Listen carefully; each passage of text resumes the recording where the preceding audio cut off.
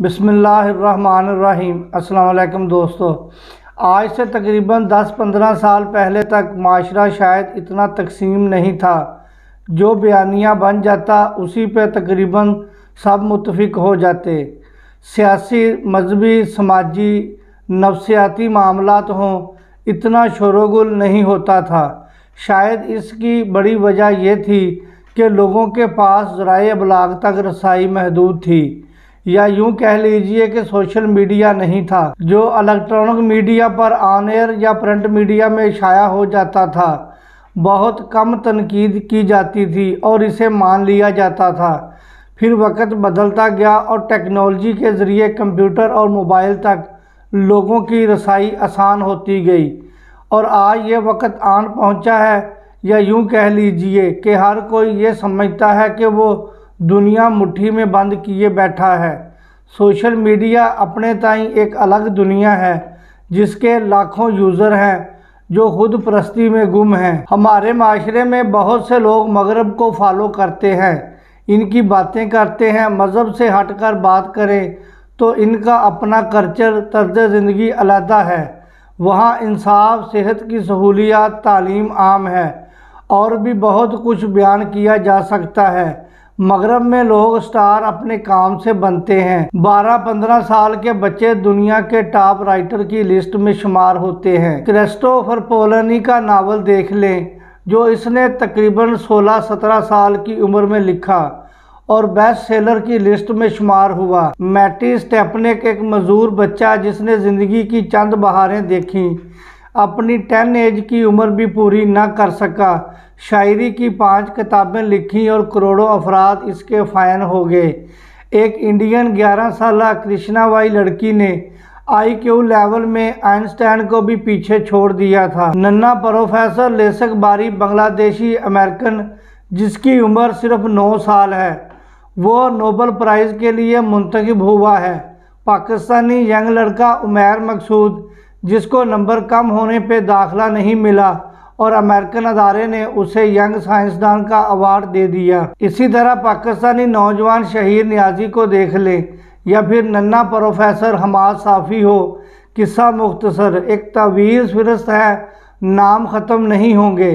हमारे माशरे में बहुत ही कम तादाद में अफराद इनको जानते होंगे। ये वो बच्चे या नौजवान हैं, जिन्होंने साइंस में अपने आप को मनवाया और पूरी दुनिया में लोग इनके फ़ैन बने। माजरत के साथ आप यहाँ देख लें, जिनके नाम मैं बोल नहीं सका, लेकिन इन सब के लाखों फ़ैन हैं।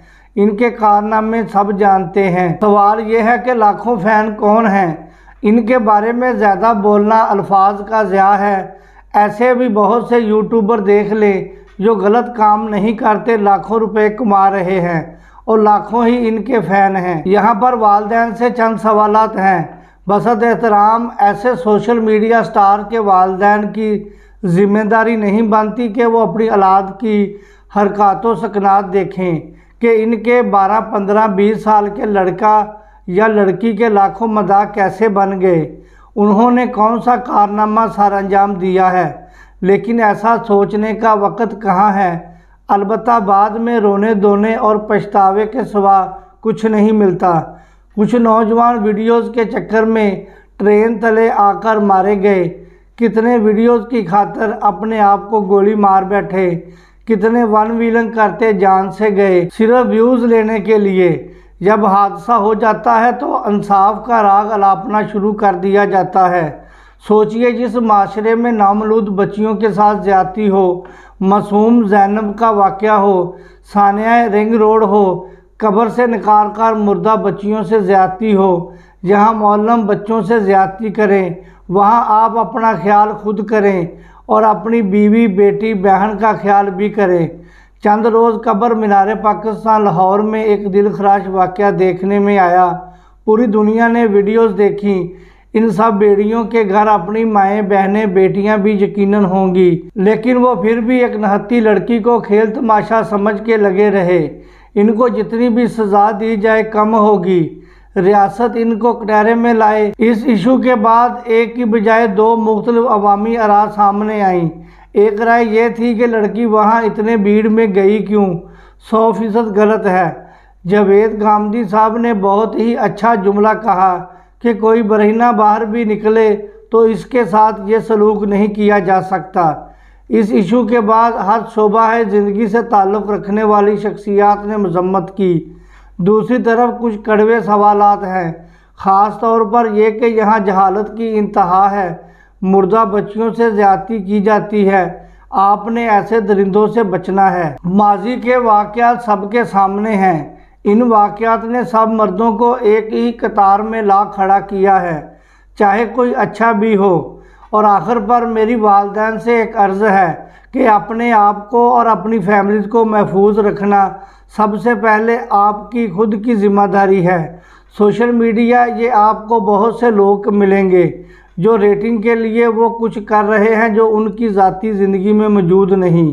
खुदारा रेटिंग के चक्कर में अपना और अपने मुल्क का नुकसान ना करें। बहुत शुक्रिया दोस्तों, मुझे इजाज़त दें, अपना ख्याल रखें। अल्लाह हाफिज़ असलकम वरहमतुल्लाहि वबरकातुहू।